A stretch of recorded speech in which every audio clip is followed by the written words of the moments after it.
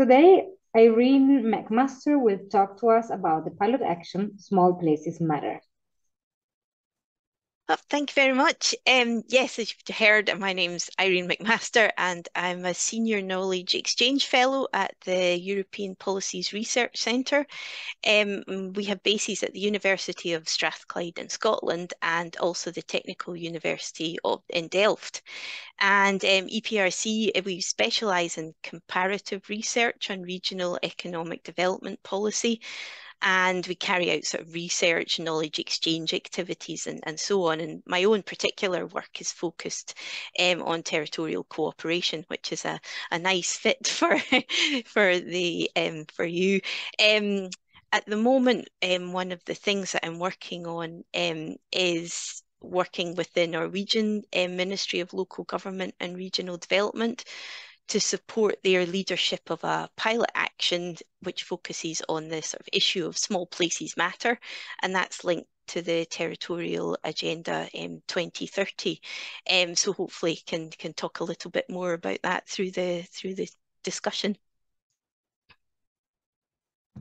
Thank you. Um, so the pilot action focuses on small towns and villages and investigates the role in macro strategies for local development. Why is the attention on small places? Well, as the, the title of the pilot action kind of hints, small places matter. um, sort of well over a third of the EU population live in smaller urban centres. And, you know, again, roughly around a, a third, 30% live in rural areas where smaller settlements are sort of predominant. Um, small places are a key component in national and regional systems and really have a key role in the development of their surrounding regions. There's also a very noticeable um, trend in terms of um, policies, um, which are increasingly targeting the sort of small towns um, with new new types of support and new interventions, and recognizing their importance in sort of demographic, social, um, and economic development and small places have in many countries have kind of displayed actually quite sort of robust growth rates equal to or higher than some larger cities. Um, but for other small places they're facing obviously big structural challenges like declining key industries service access demographic aging and, and depopulation issues. And these sort of dynamics will continue to change and evolve with all the other developments going on linked to pandemic digital digitalization, climate change, and, and global pressures. So, yeah, it's a kind of very dynamic and um, changing um, issue. And as I said, it's sort of the focus of sort of renewed policy interest at the moment. Thank you. So let's look at the Territorial Agenda 2030 now. Um, what is it and why does it look at small places? Yeah. Um, the Territorial Agenda 2030 was launched by the German EU presidency in December 2020 as a framework for um, promoting territorial cohesion in Europe. And it has its roots in the numerous complex development challenges that are facing um, EU territories. And it sets out two overarching objectives, which is a just Europe and a green Europe. Um, there are obviously countless interventions and actions which already address these issues, but what the territorial agenda brings is um, a focus on the interrelated and interdependent nature of the um, development issues. Um, also, a focus on the need for coordination and cooperation in how they're addressed and a recognition and emphasis on the territorial dimension of change, that how different territories are experiencing all of these shifts and changes um, varies um, quite substantially. In relation to the role of small towns, um, in particular, the territorial agenda um, notes things like their potentially underexploited potential to cushion the polarization that there is between Europe's core and periphery. It underlines their key role in regional economic development and sort of social well-being, and also again highlights the scope for cooperation across borders, across levels of governance, and between small places um, to boost their role as sort of motors for social and economic development. Thank you. The um, Small Places Matter action is now in under in its first after its first year of implementation. What are the outcomes of the pilot action that you have seen so far? Well, um, as I said, the pilot action I'm involved with is led by the Ministry of um, Local Government and Modernisation in Norway, but it also involves partners from Poland, Germany, Sweden, Switzerland, Ireland, and we've also been working with the European Commission through DG Regio, DG Agri, and also the ESPON programme. And that's quite a mix of um, interests and stakeholders. So one of the, the big first steps was to work out what to do and um, what to focus on as as I've been kind of highlighting there's multiple challenges facing small places and a very broad range of experiences and interests um, and you know we had areas where maybe very remote, sparsely populated areas and very small, small places were a concern. Other um, partners, it was, um, you know, small, medium-sized towns tackling industrial restructuring issues that were a particular concern. So there was a, a range of issues. But when we kind of got together and, and talked about it, there was also a lot of um, common ground. And what was clear was this recognition that small towns have a big role, kind of role beyond their size. Um, and in order for them to kind of address challenges, take up new opportunities, um, and sort of adapt and be resilient capacity at the sort of within small um, places was an issue or all making that capacity available to them at different levels um, was was um, particularly of interest. And another issue was the sort of potential for cooperation across administrative boundaries and using cooperation as a way to help small places address and build capacity um, to act on sort of challenges and, and opportunities. So what we're doing is um, building up a toolkit which draws on the experience of the partners and highlights ways in which the small towns kind of role and agenda can be supported um, at various ways and, and various levels. So we've kind of got examples of how the small place sort of agenda is built in at national policy level, and there are resources being allocated um, and delivered to um, small places um, in a sort of slightly top-down way um, to help boost the role, but also how they're sort of um, supporting development of um, capacity and knowledge at the, the municipal level and supporting bottom-up engagement as well, but with cooperation as, as a kind of key element of that. Thank you. We look forward to having the toolkit in 2020, yeah. I suppose. Yes. Okay. So, what are the trends that you notice when it comes to the interaction between bottom up and local initiatives and top down planning processes in relation specifically to demographic change in small places? Um, demographic change, obviously a key long-standing issue for small places, particularly the more remote and peripheral um, areas.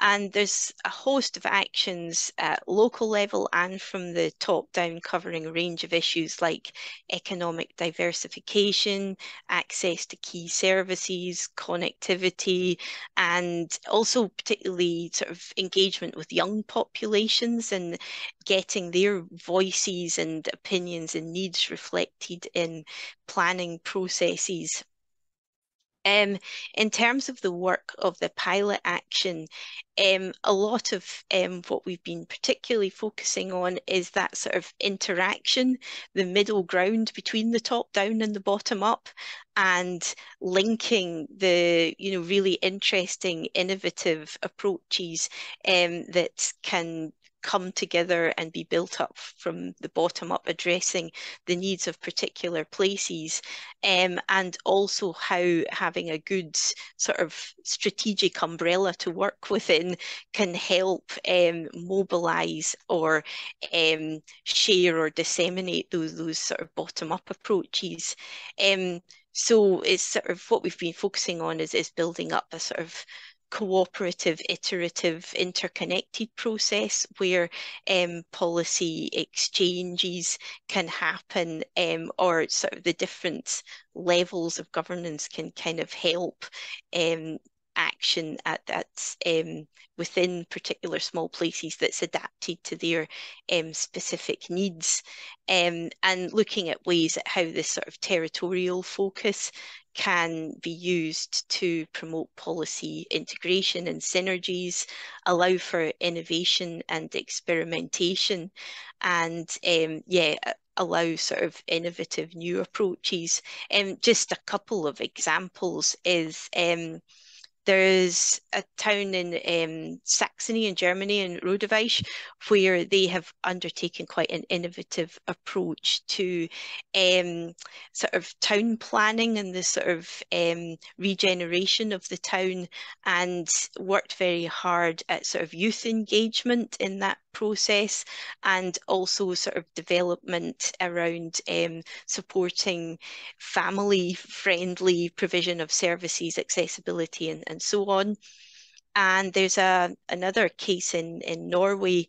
Uh, they have a district centre which is sort of linked to municipalities and also to their um, government ministry, and it, it provides sort of capacity building support and they're working on a project again which is working with some municipalities to support their role as sort of community developers and looking at planning planning work in relation to adaptation and provision of services um, linked to aging populations which is a big issue obviously for many of the Nordic Scandinavian countries Thank you. Already a lot of learning material. Yeah, yeah. yeah. Okay, last question to you, Irene.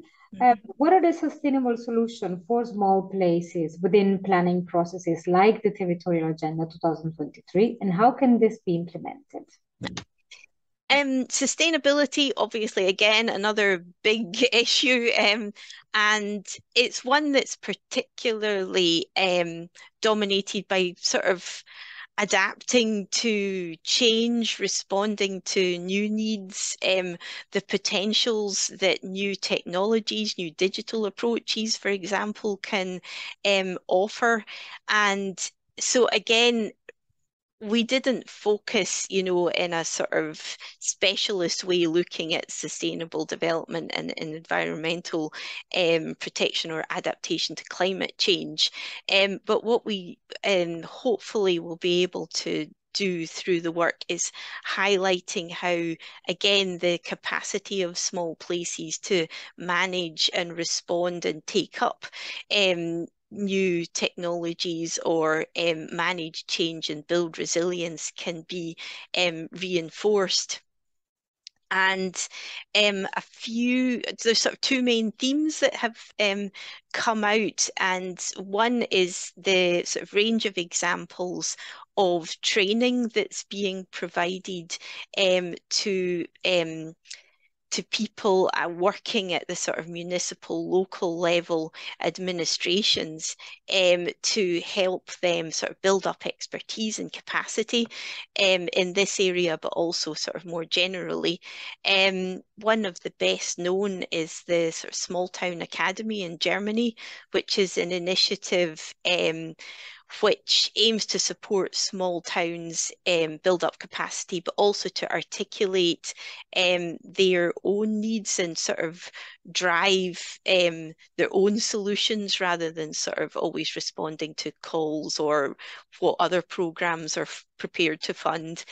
Um, again, there's it, linked or, or similar initiatives in Ireland, for example, where the um, the Northern Western Regional Assembly is working with a local university to provide smart places training, which focuses on the application of digital um, technologies and providing training to sort of local administrators and authorities to deal with to use new technologies in managing issues like congestion, pollution, waste, because it's such a sort of changing and evolving um, this evolving thing that um, it can be quite difficult to keep up with. Um, and yeah, so training's a, a key one, but also there's this sort of op opportunity to work collaboratively and pool resources across borders, across small um, municipalities and communities.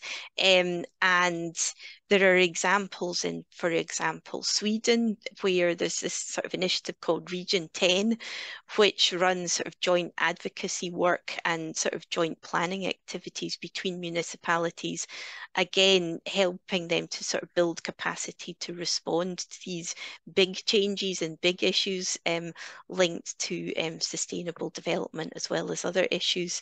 And there's a similar initiative in Poland Where um, I think it was linked to an OECD pro program and project that Poland worked um, particularly with marginalized rural municipalities to build up intermunicipal cooperation to help them undertake strategic planning exercises where again sustainable development is obviously a, a key factor. Um, and as well part of the territorial agenda umbrella, there is also a pilot action which is specifically focusing on climate um, change and adaptation in small towns, but specifically in the Alpine um, region. And they've done some really interesting work, which is um, also highlighted in the web page for the territorial agenda. So people could follow that up there. So yeah, that's